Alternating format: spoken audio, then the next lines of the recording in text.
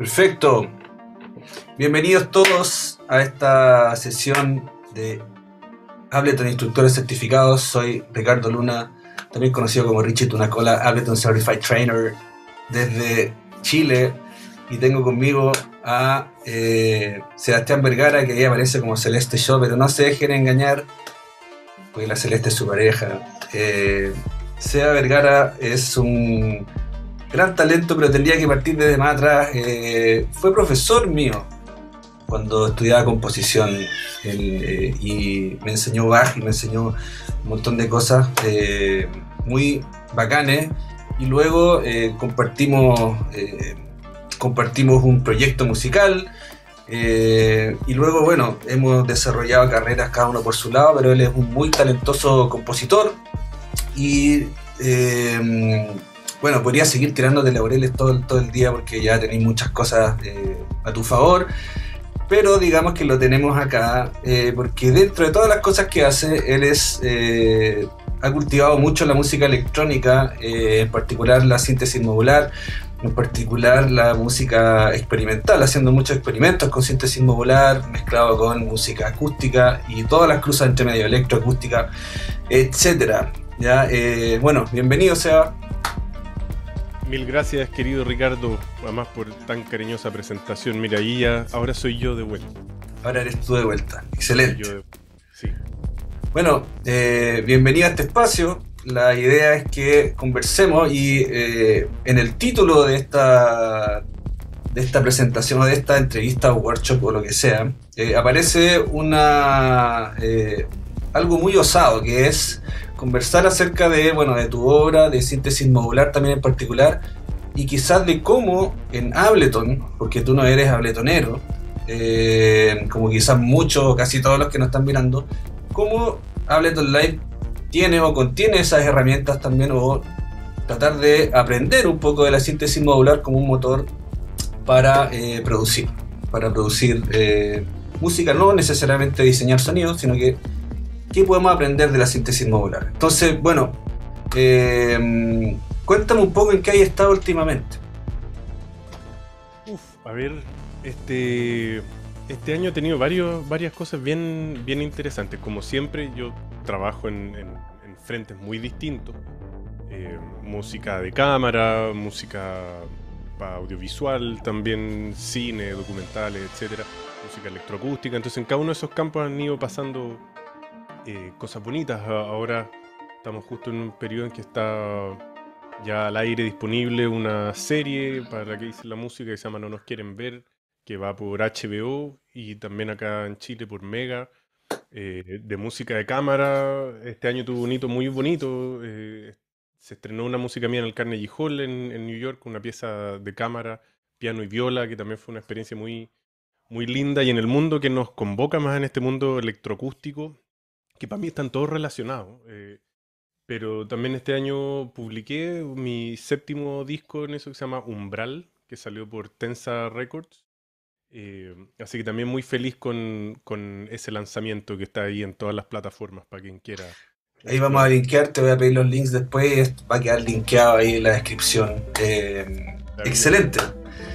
Ya, pues bueno, eh, podríamos estar toda la tarde discutiendo de, cosas, dado tus amplísimos intereses musicales, también podríamos estar metidos en hartas cosas, pero eh, vamos derecho al grano un poco. Eh, yo de un tiempo a esta parte te he visto cultivando la síntesis modular de una forma cada vez mayor. Creo que en los primeros videos aparecías como con un, un un Mother 32 o unos bichitos por ahí, y de repente esa nave a través de Instagram se ha ido expandiendo y ahora ya si me la muestra, a, la, mayoría de la gente le daría un ataque de pánico, yo creo, de la cantidad de cables que hay.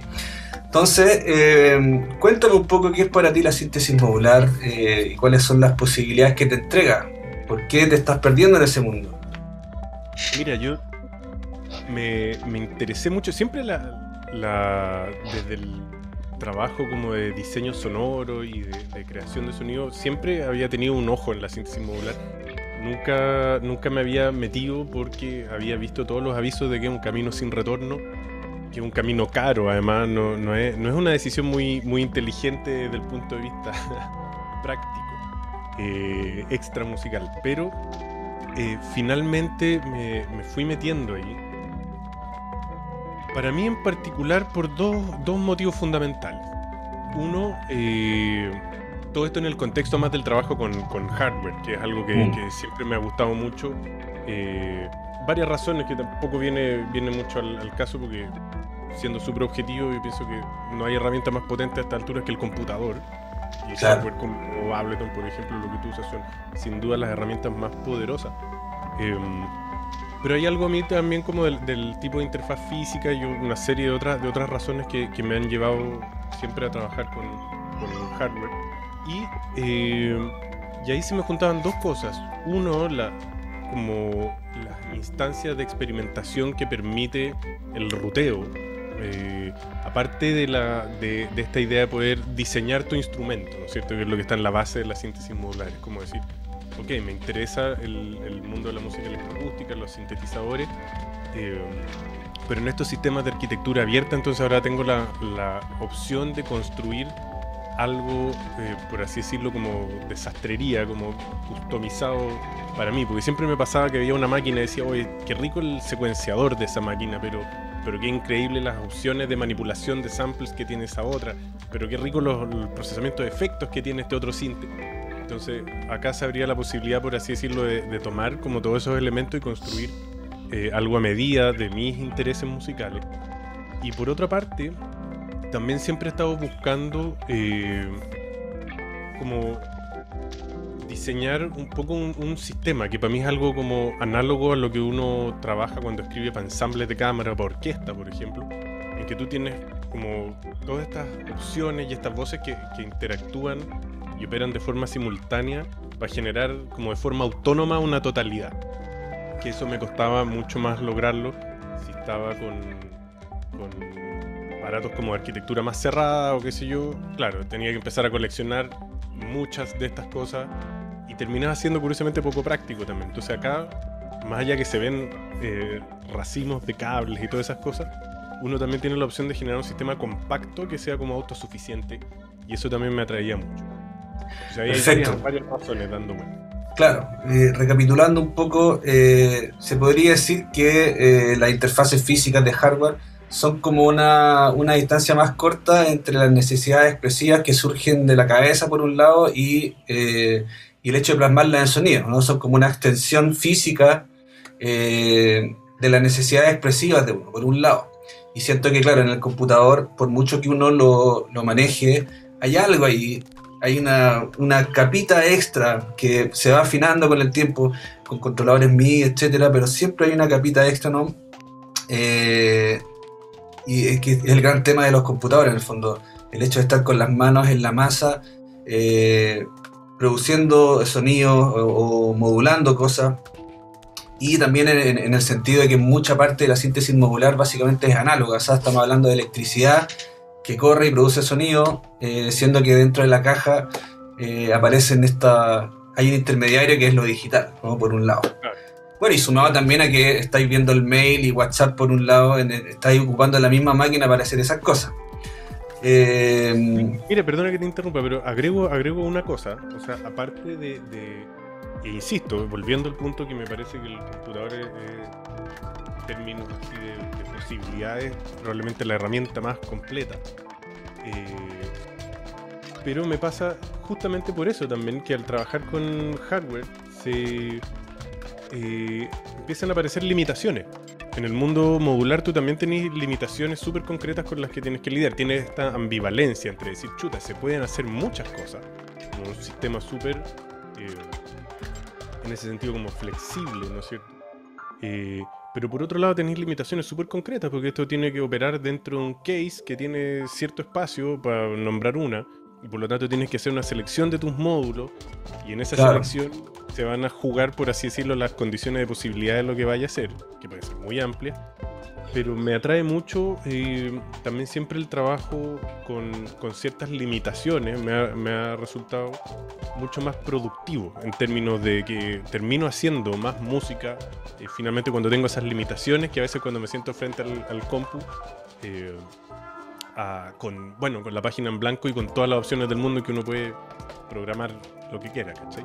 Ahí, hay un punto importante, eh, que es, claro, eh, el hecho de restringir las libertades generalmente nos enfoca mucho más. Eh, la cantidad de tiempo que uno pierde al tener librerías de plugins y 300 gigas en samples es una cosa impresionante, de hecho es paralizante y en, hasta cierto punto es un camino rápido hacia la frustración, el hecho de tener tantas tantas posibilidades. Curiosamente, ¿no? Y claro, lo otro es que los modulares, como tú habías dicho hace un ratito, son un sistema completamente abierto, mientras que los sistemas de arquitectura fija, como los sintetizadores normales, que uno aprieta una tecla y suenan, eh, en el fondo no invitan tanto a la experimentación. Acá desde el principio tú tienes que cablear un sonido para que un oscilador pueda sonar, en Para que un oscilador pueda pasar a un amplificador ya son tres, cuatro pasos simplemente para que suene. Eh, cosa que a priori, desde el principio, te invita a experimentar. Y eso, es algo que, yo he recogido que me parece eh, muy interesante de la síntesis modular. Eh, y aparte, claro, el hecho de que sea súper limitado, porque es súper limitado, ¿cierto? Tú tienes, los, osciladores se compran de uno, mientras que en Ableton un sintetizador uno lo puede colocar y tienes 32 voces de polifonía. En el fondo no sé cuánto te costaría en plata tener 32 voces de polifonía en análogo. Eh, así que bueno, eh, enfatizando un poco el punto de que es un entorno limitado todo, Entonces hay que hacer fluir los jugos creativos para poder sacarle trote. Sí, y ahí creo que, es importante hacer al tiro como una una precisión, que es... Eh, hay distintas como aproximaciones también al, mundo modular y ahí yo no soy para nada un, purista tampoco de eso, ni, me autodefino así como, como bajo, bajo esa lógica, eh, porque justamente navego por estos sistemas bien distintos y en el último disco que hice coexisten modulares con guitarras eléctricas, con tríos de cuerdas, con, con edición en el computador también y el modular con el que estoy trabajando actualmente, que bueno, uno siempre va como reconfigurando este, eh, no está concebido como, como un sintetizador en un, en un sentido convencional. Eh, como que yo tenga mis osciladores, filtros, ¿no es cierto?, envolventes y como, como esa estructura, sino que está concebido más bien como una especie de, de pequeño ensamble, hoy día muy dominado por, samplers, por ejemplo, eh, herramientas de, modulación. Eh, y tengo otra estación también que, miro para allá porque tengo algunas cosas acá arriba como el de la mesa, que sé yo. Otra estación más dedicada como al, también al, ritmo, como una especie de, drum machine así modular. Eh, y así varias, varias, varias herramientas, pero en el fondo no, no es, y esa para mí es como la gracia también, que termino construyendo algo que es un instrumento para mi música y no un sintetizador. De hecho, ahí ese era mi argumento antes de entrar al mundo modular cuando gente me decía, oye, pero tenéis todo esto y le decía, por un octavo del dinero tengo acá en este dispositivo, tengo los osciladores, tengo el mixer, tengo los filtros, tengo, entonces no, creo que la, relación costo-beneficio de meterme por esa razón al mundo modular no me llamaba la atención. Pero de armar entonces esta especie de, Frankenstein eh, como a medida para uno, ahí sí para mí se cumple el, objetivo. Perfecto, o sea, es otra aproximación en el fondo, desde, netamente desde la necesidad, no desde eh, dominar un instrumento que te dan, no desde dominar una interfaz, sino que construirte una propia. Ahora, lo que yo he cachado eh, en tu música es que aparece mucho lo indeterminado, lo aleatorio o lo, especulativo también, ¿cierto? Que yo creo que es una de las grandes puertas que se abren. Entonces, eh, desde la producción en Ableton, por ejemplo, que eh, muchas veces estamos acostumbrados a que todo sea determinado, de yo colocar el kick en tal parte, de yo moldear el filtro para que suene siempre tal cosa y quizás muchas veces nos, abrimos la puerta a la experimentación y sobre todo a lo especulativo. En el fondo de cambiar la pregunta de cómo hago tal cosa por la pregunta ¿qué pasaría si? Entonces, eh, ¿cuáles son las, eh, crees tú, las virtudes del, modular, en el fondo, en ese sentido, eh, de lo especulativo? Sí, bueno, para mí es, y estas son todas opiniones personales, ¿no? pero para mí es central y tal vez de, la, motivaciones principales. es eso, digamos, en el, en el modular, en el modo en que yo lo abordo y mucha otra gente lo aborda también, no está tan, tan, no es una concepción tradicional del tocar un instrumento, como puede ser, no sé, en las guitarras, bajos o instrumentos que me puedan acompañar aquí eh, atrás en el estudio también. Em, sino esta idea más bien como diseñar, en el caso mío, de diseñar como estos sistemas eh, que, bueno, que se pueden incorporar de distintas formas al, desarrollo de una obra o de una improvisación, etc. Y para mí esa, el territorio de la indeterminación, por llamarlo de un modo, porque hay varios conceptos mm. que dependiendo de los territorios adquieren algunas como eh, cualidades como bien específicas y otras veces más genéricas, las ideas de lo aleatorio, lo indeterminado, lo caótico, lo random en el mundo modular, cuando hay muchas distinciones a veces entre módulos que trabajan, comillas, con caos versus módulos que trabajan con eh, lógicas más bien random y hacen como distinciones, ¿cachai?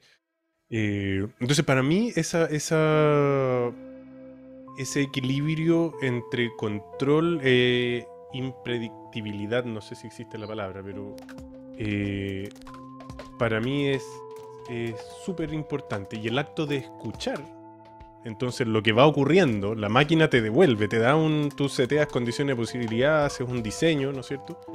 Eh, y luego también la, máquina va, va, más que proponiendo, van ocurriendo estos, estos resultados a veces inesperados y uno reacciona a esos caminos también que van apareciendo. Eso para mí es súper estimulante.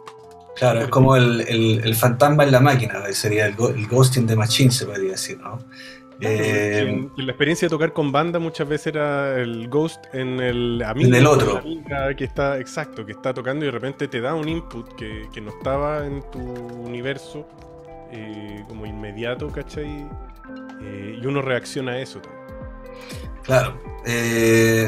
para, en el fondo, para contarle a nuestros oyentes que están ahí en el fondo que lo aleatorio no es un caos absoluto, ¿cierto? Es importante lo que tú decías, que hay, se establece un marco de acción, en el fondo, en el que estas cosas pasan. Claro, tenemos el extremo de lo completamente determinado, que era el sueño de la música electrónica en un principio, cuando Stockhausen decía que iban a eliminar al intérprete, en el fondo, todo súper determinado, cosas que no se podían hacer con instrumentos tradicionales. Y tenemos el caos absoluto, que sería, no sé, no sé si se puede hacer eso eh, con música electrónica, pero en el fondo tenemos todos estos grados entre medio en donde los marcos de acción pueden producir resultados súper acotados o mucho más abiertos. Eh, en tu caso yo he visto que tienes un rollo con la parte rítmica sobre todo. Eh, cuando escucho tu música hay una... De hecho, dale play un poquito a eso que tenías andando hace, hace un rato. Veamos qué cosas están sonando por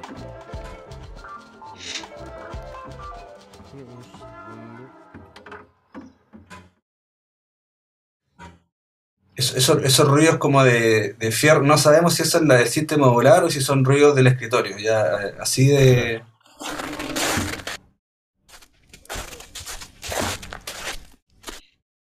Ahí tenemos, ¿no? Estoy moviendo las cosas acá.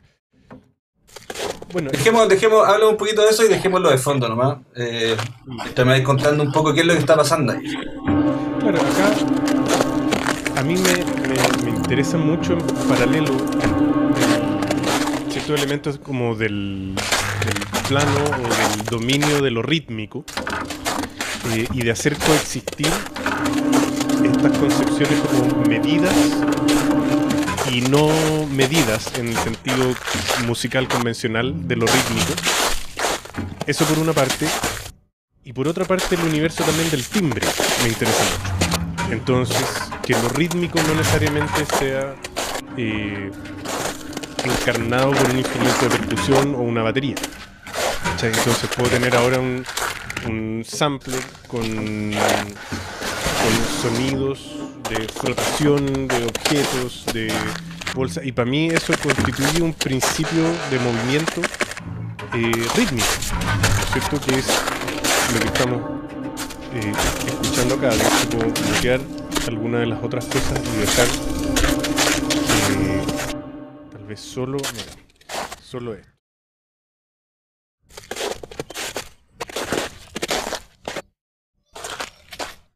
Claro, que casi que sería en el fondo eh, una forma de construir pasos en la arena o en la, o en la tierra usando diseño sonoro. Claro, tal, tal cual. Y, y, yo incorporo esto como en el territorio de lo, de lo rítmico, dependiendo de cómo lo trabaje. Puedo. Mira, voy a hacer aquí el, una pequeña modificación. A ver, si, si quieres, da con toda tranquilidad da vuelta a la cámara y muéstranos un poquito qué es lo que está pasando. No va a ser muy elegante, pero. Mira. Ese es el problema que tenemos. Claro, ahí tenemos. Pero ya vamos, vamos a hacer el, el ejercicio como de, de, enfocar la cámara más directo ahí. Ya. Para, por ejemplo, acá. Este tipo de cosas aunque pueda parecer extraño, si escuchamos yo muchas veces la puedo utilizar tal como lo tengo seteado ahora, por ejemplo. Claro. Como un hi-hat. Claro, es un hi-hat en 16 ¿cierto? El corchea. ¿Te fijé? Y, y, yo puedo luego ir definiendo eh, si esta especie de pseudo hi-hat, digamos, que se hace cargo de una zona como del, del espectro de frecuencias, ¿no es cierto? Eh, ¿En qué medida yo voy a definir de tenerlo así completamente medido, como si fuera un hi-hat en la grilla de un drum machine, o lo voy a tener más libre? Algo que hago mucho yo es tenerlo un poco más, más libre, entonces participa en la función como de subdivisión que hace un hi-hat, pero muchas veces está en tensión con el, con el tempo y las subdivisiones binarias y ternarias que se esperan de ese tempo.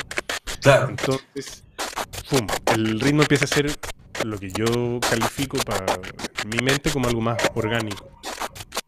Claro, claro, eso, esa es la palabra clave eh, de, lo, de, lo, que se siente que pasa, ¿no? Claro. Como algo orgánico. Eh, ahora orgánico se usa mucho eh, de una forma súper abierta, ¿no? Un concepto como que te aclare muchas cosas, es bien metafórico, pero yo diría que en un plano técnico se trata de, de, imitar a la naturaleza en el sentido de que aparecen patrones pero no se repiten exactamente. No hay una sincronía completa en el fondo, de, a pesar de que se observa como que hay una, algo periódico pero no, no sincrónico necesariamente. Entonces, eh, claro, esa sería una buena definición de, lo orgánico. Y me parece que algo que se puede aprender de la, de la síntesis modular también en un contexto de producción tradicional es eso, ¿no? Es una forma de generar, eh, generar organicidad, no sé si es una palabra, pero generar en el fondo movimientos orgánicos en algo que es súper plano y estéril por, por naturaleza, ¿no? Generalmente cuando yo hago un, un pattern de batería y le coloco un synth arriba, si lo programo con el mouse, por ejemplo, eh, es normal que sea como súper repetitivo, súper cuadrado y quirúrgicamente eh, perfecto y sin vida en el fondo. ¿no? Mientras que estos procesos en el fondo apuntan a darle vida un poco a la, a la, a la música en general. Claro, en este caso es un extremo, ¿no? Eh, pero estoy viendo un poco la forma de poder incorporar eh, estas cosas, estas técnicas en, un contexto de producción. Se supone que yo ahora te debería como pausar y tratar, eh, me, metí, me metí en el fondo, me metí en problemas, tratar de ver cómo yo podría eh, en live, en el fondo, ilustrar eso. ¿ya? No sé si estás viendo mi pantalla aquí.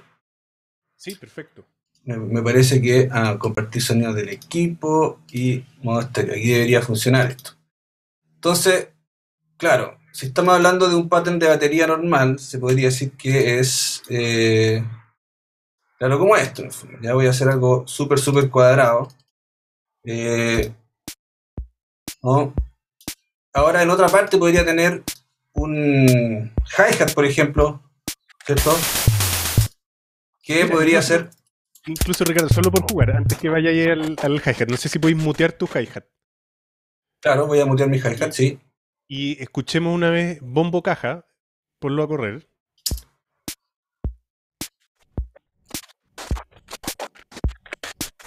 Claro. Claro, algunos van a decir, suena pésimo, ya it's a matter of taste, eh, dirían otros, pero yo podría esculpir esto que estoy trabajando sin tener ningún tipo de sincronización de tiempo preestablecida contigo. Claro. Y se produce algo que puede ser cíclico, eh, periódico quizás, pero esta desincronización le, da esta cosa bien interesante. Eh, ahora, claro, yo podría como hacer algo así, ¿no? Como, eh, ya que tengo hi-hat, está perfectamente sincronizado, podría, qué sé yo, agarrar las notas y correrlas un poquito, ¿no? De tal forma que yo pueda hacer algo así como... ¿ya? Lo que igual me da es una especie de polirritmia, ¿ya? Que le da una cosa rara, pero en el fondo sigo teniendo una seguidilla de notas, ¿ya? Y yo al hecho de, programar algo así, ponte tú como esto, estoy eh, generando algo que podría eh, quedar un poquito más desfasado, pero sigue siendo un loop, en el fondo, y la, cabeza se va a ir acostumbrando a, por muy raro que sea, se va a acostumbrar a que es un loop, ¿no? ¿Ya? No está tan desincronizado esto como quisiera, vamos a ver.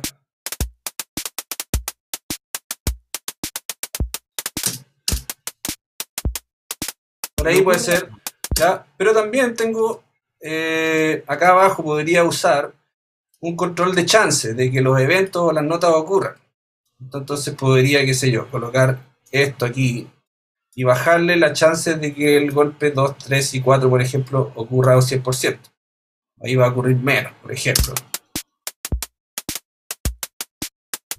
Lo que todavía ya puede empezar a, funcionar, pero todavía me queda el, tema de que el timbre sigue, sigue siendo siempre igual.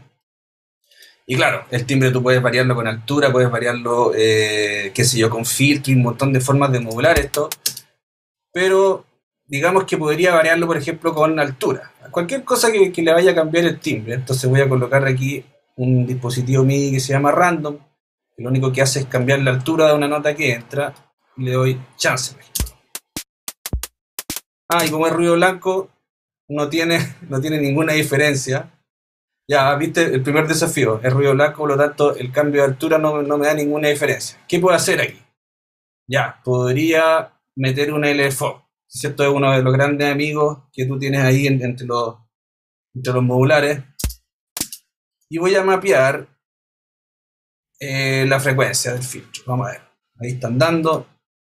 Voy a colocar un, un aleatorio bien rapidito. Y ahí tengo algo. Y si mapeara también este LFO quizá a un, a un delay. Ya, por ahí, ¿no? Entonces, estas son herramientas nativas que tengo. Eh, y básicamente lo que traté de imitar un poco esta cosa asincrónica el hecho de que no todas las notas se toquen todo el tiempo, sino que hay una probabilidad de que no se toquen y poder cambiar el timbre eh, una por una. ¿no? no sé si me, estaré acercando, pero bueno, es, mi, es lo que se me ocurre, digamos, para poder imitar eso. ¿ya? Eh, ya, te, lo devuelvo, te lo devuelvo. Dejo de compartir. No, está, está, está perfecto. Lo que tú estás haciendo ahí, de hecho, es algo que, que que se puede trabajar también en el mundo modular, ahora implica un patch ya un poquito más complejo, implica tener los módulos. En ese sentido, eh, ahí vuelvo a lo que decía antes, que el computador es la herramienta así más, más, más potente, así, sin ninguna duda. Y, claro, en lo que yo mostré hay, hay, una, hay una trampa, porque tú estás efectivamente haciendo eh, prácticamente todo lo que uno tiene así a su alcance, como de forma rápida para reproducir eso la trampa que yo estoy haciendo es que como yo lo, estoy trabajando con algo que está sampleado, pero es, no es un, por así decirlo, un one shot sample, sino que es un track más largo. Mm. Claro, todas las variaciones de, timbre, por ejemplo, e incluso eh, desvíos rítmicos están ya contenidos en la muestra. Entonces, hay toda una parte de eso que tú tienes que resolver, por así decirlo, con lo que estás diciendo ahora, que acá ya viene dado eh, por la muestra. Entonces, probablemente tú con alguna herramienta de, de, sampling de Ableton vaya a encontrar también otro camino para llegar. Tú ahora lo hiciste como desde la lógica de la síntesis. Claro, eh, mira, me entusiasmé, me entusiasmé. entusiasmé. Vamos a, hagámoslo así. Déjame ver si puedo encontrar eh, un sonido eh, entre los samples. A ver, tengo grabaciones de, de, de campo, de distintas cosas. Vamos a ver si pájaros. Y ahí hay sonido perfecto. Voy a tener que amplificar esto un poquito porque está sonando muy despacito. Eh, ok, claro, esto podría llevarlo a un sampler, ¿cierto? Voy a subirle un poquito la ganancia. Aquí lo estoy disparando. Y claro, sería como una especie de gatillo que podría gatillarlo con el mismo programación de hi-hat que hice aquí. ¿Cierto? Con este mismo, este mismo MIDI. Voy a llevarlo a una altura más. ¿Ya? Y claro, el asunto es que siempre parte de un mismo lado. ¿no? Parece que un mal ejemplo es una mala grabación. Déjame buscar aquí en Humberstone, creo que había una pasos, ya. Aquí paso en la tierra, ya. Claro, y habría que eh, decidir el punto de partida que fuera distinto. Vamos a ver si de alguna forma puedo usar algo. Bueno, el mismo LFO me sirve eh, para poder mapearlo a punto de partida y quizás de una forma aleatoria. El LFO es como, claro, sirve para muchas cosas y quizás eso podría funcionar. Ahí está partiendo de múltiples puntos, ¿no? Quizá con jitter para darle un poquito más de. Para que sea un poquito más tiritón. Ya, por ahí podría ir, ¿no? Con una. Perfecto. Ese control de depth que tienes en el LFO es para regular la amplitud, o sea, si lo bajáis del 100%, regula, regula, la amplitud. Entonces, ahí podría Y así podéis evitar que no reproduzca el, inicio inicio. El inicio, claro, El inicio inicio que quisiera. Claro, esa es una forma, una de las formas que tengo de acotar, ¿no? Supongo que ahí en el, en el sampler tú también estás eligiendo quizá el punto de partida y también tenés un control de, amplitud. Para poder depende de cuál sea el, módulo. ¿Cachai? Ahí volvemos a lo de las limitaciones, pues como que estos módulos así son. Son como. Es como si uno lo llevara a una analogía al mundo del fútbol, que no son muy buenas analogías porque eh, hay mucha gente que no le gusta el fútbol, entonces no le va a decir nada, pero da lo mismo, o al básquetbol, a cualquier cosa, vas a tener eh, jugadores o jugadoras que, tienen como ciertas virtudes por sobre otras. Entonces uno, uno no pone al, goleador al arco. Entonces los módulos pasan un poco lo mismo. Tienen como, como ciertas cosas que hacen muy bien mm. eh, y rara vez lo tienen todo. Entonces tienen como esa, esa orientación, como, como ciertas misiones lo bonito sí que también tiene lo modular y que también lo, puedes hacer en, en, Ableton, que uno puede ir también contra esos ruteos y sacar sorpresas eh, de, estos módulos. Pero claro, lo que estáis haciendo ahora, eh, hiciste dos caminos, lo encuentro muy, muy choro para gente que pueda estar viendo esto, como, como dos, dos caminos para desarrollar una, una misma idea, digamos, con, con, dos puntos de partida, que incluso ahora, como estáis haciendo además, se pueden sumar. Claro, claro, se, pueden, se podrían sumar. Vamos a ver qué pasa si se suman. Me parece que no está produciendo ningún sonido esto por alguna razón. Bueno, son las cosas que pasan, ¿no? No, el, el hi-hat, el hi-hat antiguo no está ah. produciendo ningún sonido. Eh, ah, claro, porque estoy en otra nota. Perfecto, Ya. Entonces, eh, ¿dónde está mi, mi hi-hat? Ahí está. Ahora tengo dos cositas pasando. Claro, en todo caso lo que estoy haciendo ahora eh, es el cómo hago qué, ¿no? Es, esa pregunta de cómo hago qué, cómo imito lo que tú estás haciendo.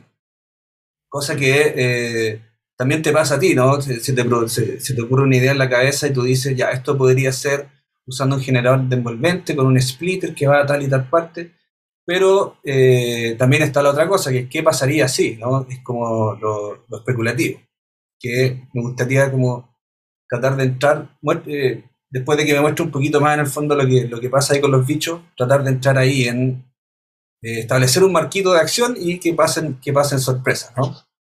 Perfecto.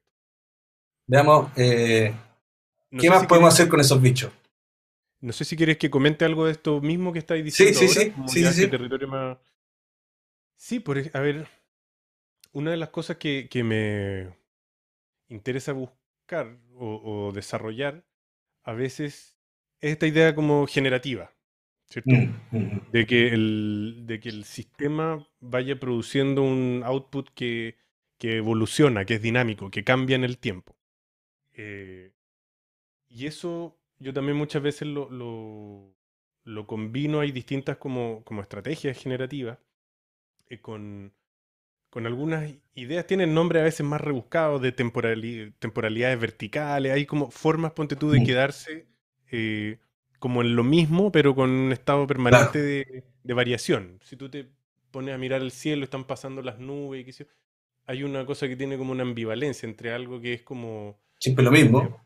Claro, como medio fijo, son estas nubes en este cielo y no hay un en el mundo filosófico uno diría, no hay como una cosa teleológica, así que esto se dirija hacia algún final, que tenga algún desarrollo dramático, no hay nada en ese movimiento de nubes que contenga eso. Eh, pero al mismo tiempo está cambiando todo el rato. Mm, Entonces, tú, ese, ese tipo de zonas a mí me interesa mucho para generar como texturas estacionarias que, que están como dándose vueltas en torno a lo mismo. Eh, y ahí, para ponerlo esto súper aterrizado, eh, cosas que, herramientas que, me han funcionado bien o que me resultan interesantes el mundo modular, claro, son estas opciones de, modulación de varios parámetros. Entonces, por ejemplo, si tengo acá, déjame ver si resulta esto, vamos a ir escuchando por ahora, ni siquiera es tan necesario mirar, después podemos hacer el, ejercicio, incluso podemos pausar después y yo hacer con la cámara y te muestro algunos de los módulos y, y muestro más o menos qué hacen, qué están haciendo. Pero ahora, déjame ver acá. Voy a mutear a este señor que teníamos antes sonando ahí. Y voy a abrir a este otro caballero. ahora tengo solo un módulo, un sampler que tiene controles granulares. Por ahora no estoy entrando en el territorio granular así como del, del de las escalas temporales así de microsonido. Pero voy a pedirle para, los que nos estén escuchando, eh, lo granular se mete en el fondo, es como una especie de sampling, pero de micro, micro samples. Son tan pequeños que les dicen granos, de ahí viene el nombre de granular. Claro, está como al, interior del, segundo, en el mundo de los milisegundos. Claro. Entonces, por ahora, ¿qué hice? Por ejemplo, acabo de conectar un cable y hice algo muy, muy sencillo, que es, tengo una envolvente eh, no sé si es necesario, tú me vas diciendo si es necesario detenerse a explicar algo o no. En la mayoría de las cintas aparece esta envolvente, el famoso como ADSR. Sí. Esto que me ayuda a determinar los tiempos y las transiciones entre distintos valores, supongamos, de amplitud. Entonces, el ataque de la nota, después cuánto demora en llegar a, un estadio de sustain, que es como la nota estable, y el release cuando suelto la tecla. Esas envolventes en general tienen como una cierta escala temporal. Yo ahora estoy trabajando con una envolvente en que puedo setear que, que el movimiento de esa envolvente eh, dure, por ejemplo, 15 minutos. O sea, el ciclo completo de la, de la envolvente. Ya, perfecto. Y que esa envolvente en verdad ya es como más bien un generador de funciones que esa envolvente no tenga solo eh, cuatro estadios, sino que tenga, vienen en el caso de este módulo, seteados, vienen como un conjunto de envolventes curadas, por así decirlo, eh, y eh, puede tener, no sé, 56 estadios dentro de esa envolvente. ya, perfecto. Entonces, esos 56 estadios van a ocurrir en un lapso, ponte tú, de 10 minutos. Ya. Y la tengo con un seteo cíclico por lo tanto va a funcionar como una especie de LFO complejo, digamos. Ya, perfecto. Repetir una y otra vez. Eh, y esa envolvente entonces la tengo ruteada a un sample que estamos escuchando ahora, que a un input para cambiar de file, de cuál va a ser el sample, la muestra. Perfecto. Que va a sonar. Entonces, ¿qué ocurre? es divertido y esto es interesante, perdón que me ponga así más, denso, pero el sistema no es que ahora sea como indeterminado o, que sea completamente caótico, porque de un modo u otro esos cambios de, de file en el sample están, están determinados por, por esta envolvente y uno podría mapear eso y, y modelarlo y decir, bueno, en tal segundo va a ocurrir este cambio y así. Pero está en una escala temporal que yo cuando ya estoy tocando no me permite predecirlo. Claro, es demasiado largo. 10 minutos, claro, es un, es un, arco demasiado largo yo estoy también pendiente de otras cosas. Entonces, si bien el sistema es determinado, en mi experiencia, es impredecible cuándo va a cambiar eh, de, de, file. Sobre todo porque además también para que se produzca ese file el voltaje tiene que alcanzar un cierto pic y yo tengo un envolvente que no siempre llega a eso. Entonces, eso ocurre a veces. Claro, ocurre a veces, ¿cachai? Ya. Y lo que estamos escuchando ahora, entonces... Y ahora yo puedo mover algunos parámetros como de lo, de lo granular en el fondo para hacer que la, muestra ya tenga como una ventana mucho más pequeñita, entonces ya no escuchemos como, como fragmentos como más largos de música, sino más pequeñitos. ¿Te fijáis que está como cortado? Sí. Y yo puedo mover ciertos parámetros como de, de frecuencia para esa toma de muestras. Pero, claro, ya en este momento yo ya no sé cuándo va a venir el cambio de, de sample. Entonces yo puedo ahora complejizar esto un poquito más, pidiéndole, por ejemplo, modulando también el tamaño de las muestras, por ejemplo. Entonces a veces voy a tener eventos de audio con mayor duración y a veces más pequeñitos. Claro. también pone una modulada por una envolvente súper larga. Entonces tampoco ya puedo saber exactamente cuándo va a sonar algo cortito, más largo. Y eso va a ir evolucionando permanentemente, porque además se empieza a producir una especie como de relación heterométrica entre la duración de la muestra y el archivo que está siendo leído. Claro, claro, en el fondo eh, los gatillos los gatillos tienen su propio ritmo y las muestras en sí se escucha otro. Y eso además ahora lo estoy superponiendo también con que estoy modulando el punto como tal como hiciste tú, el punto de partida de la lectura de la muestra, que también va a ir variando eh, mediante una envolvente súper compleja y súper extendida. Ya. De ese modo, el, finalmente lo que tú haces es que si vas a reproducir un sample así siempre de la misma forma, tú tienes, por así decirlo, un output posible. Claro. Con todas estas modulaciones, ese un output posible se transforma, qué sé yo, en 18.000 outputs posibles. Claro. Que alguien puede decir, bueno, esos outputs los encuentro bonitos, relevantes, que relevante ese ya otro tema. Pero yo con esto puedo tener, en, el marco de la, de la elaboración de una textura, corriendo algo que está mutando y que si bien está determinado en todos sus posibles estados, yo ya no tengo idea. Claro, claro. claro.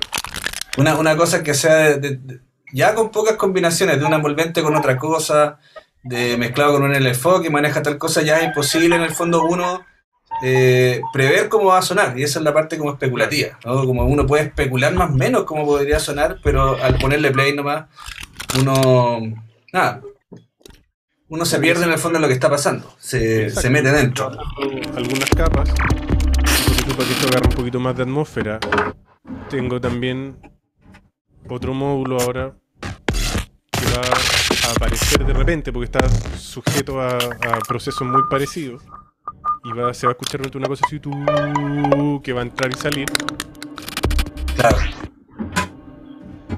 Entonces, claro, tengo un módulo que está generando esa señal de forma continua, que está entrando un VCA, cuya envolvente entonces ahora también tiene este arco súper largo y súper complejo, entonces yo no sé cuándo va a entrar eso. Ya. Finalmente lo que estoy haciendo, en este caso, es crear una especie como de soundscape slash textura, ¿cierto? Generativa con parámetros súper simples, con dos módulos, pero que me da todo un background, en este caso, arriba del que yo me puedo poner a tocar guitarra cuatro horas. Y, y, armar un diseño de un espacio sonoro imaginario donde de repente hay ritmo, donde de repente hay subtítulos, pero sería como, para mí, como tocar con una pequeña banda que está haciendo todas estas cosas. Claro. A ver, me entusiasmé, me entusiasmé. Déjame ver. Esto ya, es, esto ya es mucho más complejo, porque estamos hablando de. Eh, claro. Voy a bajarme el volumen acá para De múltiples procedimientos que están pasando, pero. Claro, lo, una de las cosas básicas es que hay, hay un cambio de sample, ¿cierto? Hay un sample como que va cambiando. Entonces, eh, aquí hay un drum rack básicamente una batería que tiene 64 eh, pads, por lo tanto tengo 64 samples para poder elegir. Espero que no se demore tanto en cargarlo. ¿Cierto? Eh, Cada vez que veo a alguien trabajando con, con Ableton, digo, pucha, ya, yo lo debería. bueno. O sea, bueno, lo que se me ocurre aquí eh, claro, tú lo hiciste mediante un envolvente. Entonces, eh, yo lo que puedo hacer aquí es como generar solamente una nota, ¿no? Eh,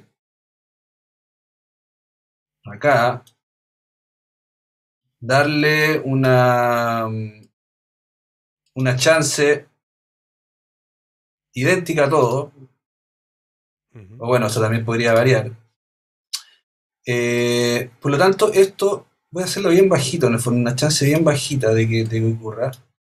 Y siempre va a sonar el mismo sample por ahora.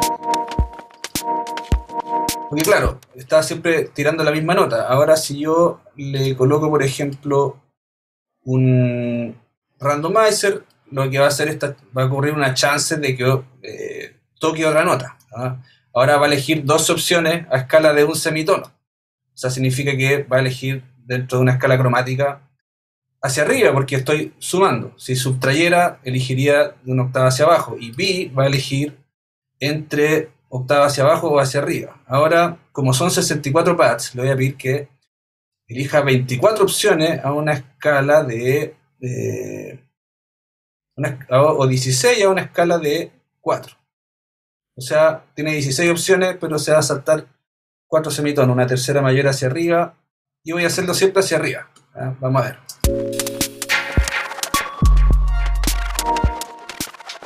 Ya, ahora sí está pasando muchas veces las notas, ¿no?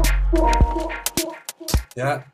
Ahora hay una cosa granular que yo no la puedo imitar en el fondo tal como tú lo hiciste porque aquí hay algo que eh, es sample por sample en el fondo. Yo lo único que puedo hacer es colocar ah, algo granular, un delay granular, por ejemplo, al final y, claro, pedirle que cambie el centro de, reproducción del sample eh, a una cierta frecuencia. Vamos a ver. Y que, en el fondo, la lectura de ese sample sea en una X cantidad de tiempo. Vamos a ver qué pasa. ¿eh?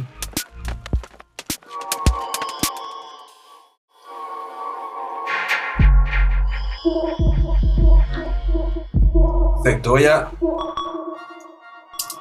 Ahí el centro de lectura del sample está haciendo, puede ser medio segundo hacia atrás hacia adelante, pero la frecuencia con la que cambia. Ahí lo estoy haciendo un poquito más rápido, entonces se empieza a desintegrar un poquito más el sonido. Ahora, esto sería interesante modularlo con un envolvente, por ejemplo. Eh, y vamos a hacerlo con eh, envelope. Vamos a ver si lo encuentro en los. Creo que están los efectos MIDI y eso. Todo esto es nativo, entonces aquí está, envelope MIDI. Y envelope genera un envolvente cada vez que hay un, una nota. Entonces aquí tengo el envolvente y la voy a mapear a, qué sé yo, a la frecuencia. Eh, a la frecuencia del spray. Vamos a ver. Oye, una acotación muy, muy básica, en caso que estuviera viendo esto alguien, alguien que está partiendo. El, eso que tú hiciste como de mapeo, ¿Ah? En, live, ese mapeo interno de decir ya este parámetro lo voy a mapear, ¿no es cierto? Acá es, es el equivalente así como lineal de lo que yo hago, pero con un cable nomás. Claro, es el pacheo. Todo esto que estoy haciendo acá, claro, de, mapear la acción de un envolvente eh, a que controle, por ejemplo, la frecuencia de un gain delay o de cualquier otro parámetro que ustedes quieran usar, qué sé yo, puedo mapearlo también, tirar el cable, sería la analogía como de tirar el cable, qué sé yo, al, al delay o al, envío de la, de la red, al envío A de la pista 1, por ejemplo. Entonces ahora, cada vez que hay un, un sonido, digamos, ocurre eso, ¿no? Entonces, ¿qué es lo que está pasando acá? Claro, eh, se producen varias notas, aquí están tirando una nota como en ráfaga, pero con la chance ocurren, hay un 25% de probabilidad de que ocurra cada una. Eh, después de eso, cada nota es cambiada por otra altura, por lo tanto va a reproducir otro sample del drum rack. Y cada vez que hay una nota también se genera un envolvente que controla este delay, que a su vez está eh, distorsionando o eh, descomponiendo granularmente los sonidos. Entonces suena, no, no, es lo mismo, ¿cierto? No es la misma ruta, de partida no tengo acceso a un envolvente de 15 minutos, eh, aunque sí podrían encontrar una en maxforlife.com, seguramente ahí alguien la hizo, pero eh, por el momento me acerqué de esta forma.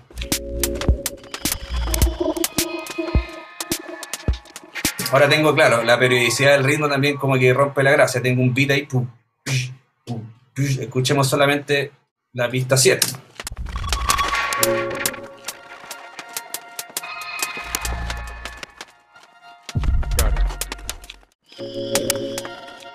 Claro.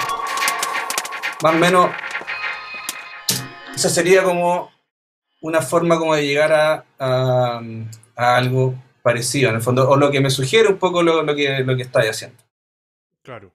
Sí, pues que es que, o sea, encuentro que es súper claro lo que, tú, lo que tú estás diciendo, porque en el fondo se ve como esa dimensión modular eh, del programa. ¿En qué sentido? Como de la flexibilidad de ruteo. Si, si no es, no es mucho más que eso. En, en una, obviamente en una, en una simplificación. Y el, y el, el tema modular que, que genera como distintas. Eh, ¿cómo, ¿Cómo decirlo? Como, como sensaciones, dependiendo de quién lo mire, como que es algo muy difícil o que es algo, eh, qué sé yo qué.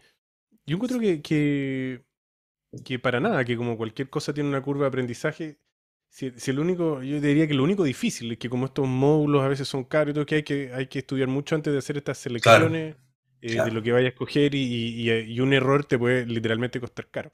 Pero, eh, pero ya el trabajo de exploración y experimentación, lo único que tienes es un, un, cierto grado de flexibilidad, que es la que tú estás mostrando ahora en el, en el software. Y una vez que uno comprende el, la posibilidad del, del ruteo, es decir, que, hay un espacio de creativo eh, para la, llamémoslo, producción o la creación musical, no solo en lo que puede hacer un componente particular, sino en cómo uno setea estas relaciones. Claro. Estados de cosas. Claro. Eh, ahí se abre otro, otro campo. Otro campo. Claro. Yo, creo que lo que lo que tú dices, como eh, combinado con lo que había dicho antes, de que cada módulo hace, tiene una función muy específica en el fondo dentro de todo este universo. Yo creo que la forma un poco de descomplejizar esto, en vez de eh, tratar de leer esto que, que, está sonando ahora, lo que sonaba en tu caso del otro lado, como, como algo incomprensible, cómo podría yo lograr eso, hay que concentrarse en, los pequeños módulos, que son todos súper específicos, incluso los que yo usaba acá. Puedes ver que son súper pequeñitos, random cambia la altura de una nota, eso es lo único que hace. Eh, envelope lo único que hace es que cada vez que hay una nota produce una señal de control que la puedo usar para cualquier otra cosa. Entonces, eh, en ese sentido, comparten un poco lo mismo estas herramientas. No son, a pesar de que se ve un montón de parámetros aquí, en esencia el pan con mantequilla eh, es súper preciso. Entonces, quizá eh, a modo de consejo para los que quieran también meterse en la síntesis modular, antes de gastarse un montón de plata, por un lado está bueno que pueden aprender un poquito de, diseño sonoro. Hay un una especie de hay un eh, website de Ableton que se llama Learning Synths, creo .ableton.com, algo así. Ahí voy a dejar el link en donde se explica todo este concepto de envolventes, LFO y las señales que generan sonido versus las señales que las modulan. Eh, y también en el fondo meterse en live en estas pequeñas herramientas que hay aquí, eh, que a partir de Live 11 son nativas, como Envelope, eh, el LFO, que son las herramientas que usé ahora, y, las herramientas MIDI también, que son muy potentes y que hacen cada una de ellas eh, hace una cosa en particular. Fíjese este pitch, ¿no? Es una sola perilla. Entonces, la combinación de esas cosas, eh, la combinación un poco ingeniosa de esas cosas produce resultados eh, muchas veces sorprendentes y con los que puedo jugar. Y vuelvo a subrayar en el fondo esto que para ti es súper importante de la, de la especulación. Es bien fácil con estas herramientas setear un entorno en el que yo le voy a poner play y van a sonar cosas en el fondo que me van a sorprender. Cosas que eventualmente yo puedo eh, escuchar, pasar la tarde contemplando, puedo dejarlas en una instalación o también puedo cazar ciertas cositas, ¿no? grabarlas en una pista de audio y poder usarlas en una producción que luego va a ser una canción o, o distribuirla, ¿cierto? Entonces, también tiene que ver con, eh, con encontrarme con cosas que a mí no se me ocurrirían de una forma más racional, que no, se, que no aparecen desde la eh, inspiración sobre eso, ¿no? Entonces, eh, bacán. Yo creo que... Ahí, solo, solo para complementar y acotar una cosita lo que tú estás, diciendo, que, que, es un approach muy, muy bonito, así, a mi gusto, que, claro, hay distintos caminos para llegar a, a, un sonido, ¿no es cierto? Muchas de estas cosas que hablábamos recién, claro, uno ve, uno mueve cuatro botones, tres perillas y de pronto hay una máquina que está generando un montón de música y sonido, claro, y hay mucha gente que se puede decir, bueno, pero ¿dónde está la persona ahí, qué sé yo? Está en muchos lugares, eh, esa es una discusión así más larga, pero hay, pero hay algo muy bonito de esto último también, cuando tú usas esa expresión como de cazar, mm.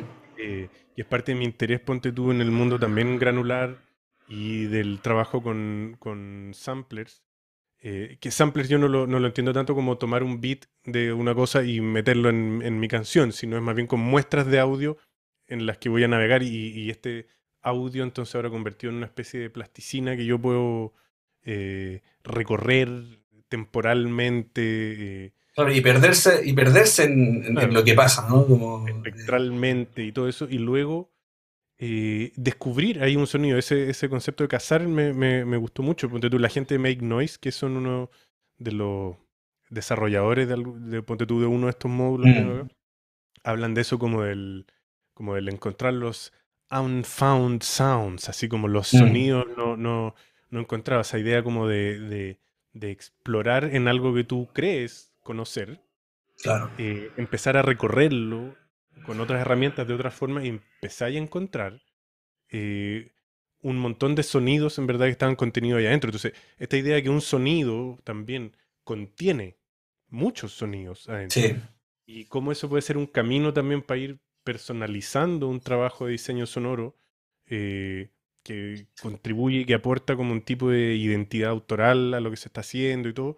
Mm. También es un camino que, que es muy bonito. Entonces, estos dispositivos, sea Ableton o sea un sistema modular o un sampler de X características, te, te permite, no sé, pues, entrar al sonido de otra forma, como mirar, no sé, el clásico, una, una, capita de cebolla al microscopio o el ala de una mosca al micro.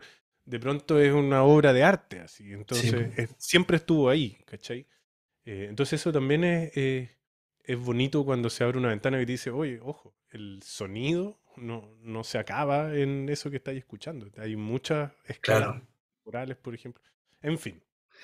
Y claro, complementando eso, también es bueno eh, ver cómo en el mercado de los bichos, de los sintes, incluso los de arquitectura fija, que son los, más sencillos, se están incorporando herramientas aleatorias, se están incorporando herramientas especulativas, los sintes modulares.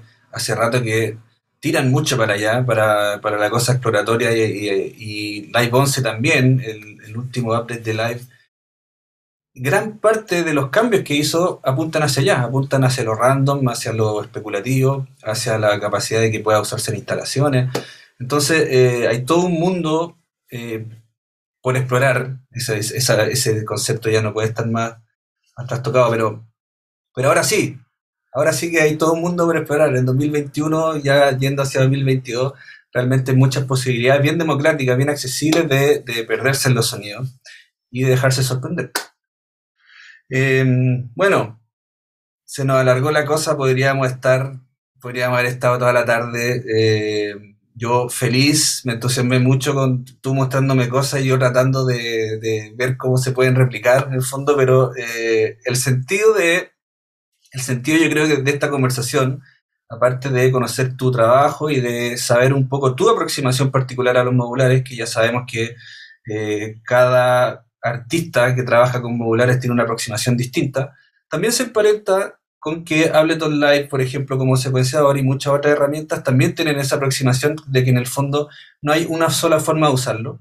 Eh, cada usuario de Live lo usa de, forma distinta y a medida que en el tiempo va, eh, va adentrándose, más particular se vuelve su forma de, eh, de trabajar. Y por último, que quería un poco como abrir la puerta y entusiasmarlo a que experimenten en el fondo Em, a que se deje sorprender por los sonidos. Yo hace tiempo que abrazo los sonidos aleatorios porque encuentro que las ideas que surgen de ahí son mucho más potentes y me gustan mucho más que las ideas que yo trato de bajar de mi cabeza, que los sonidos que yo escucho en mi cabeza y trato de plasmar.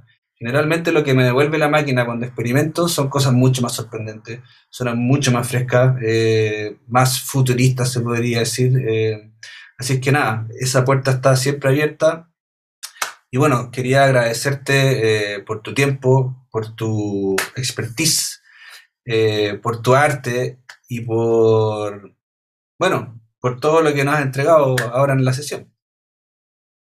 Nada, feliz, pues son temas apasionantes. De hecho, yo pierdo toda noción ahí del tiempo cuando ya entramos en la conversación. No sé si llevamos 15 minutos o 2 horas, eh, lo, que, lo que no es muy bueno, pero Feliz, son temas eh, alucinantes y todo lo que ayude como a, compartir ideas y, que esto sea, sea como algo abierto, maravilloso. Así que mil, mil gracias por la invitación. De nada, pues eh, bueno, voy a dejar aquí los links relevantes a toda nuestra conversación, van a quedar aquí abajo. Eh, espero que, que abarquen todo lo que hemos hablado para que si quieren investigar todavía más, que obviamente hay mucho por investigar, puedan hacerlo aquí en los links. Acuérdense de suscribirse, el botoncito de suscribirse. Hay muchas otras cosas pasando en este canal, así que nada, pues, te agradezco mucho, Seba. Eh, y estaremos en contacto. Nosotros dos vamos a empezar a hacer unos talleres juntos, así que eh, espero también usar ahí el canal de Ableton Instructores Certificados para eh, pegar el grito y dar el aviso de estas cosas interesantes que vamos a estar haciendo entre los dos. Muchas gracias. Adiós. Au revoir.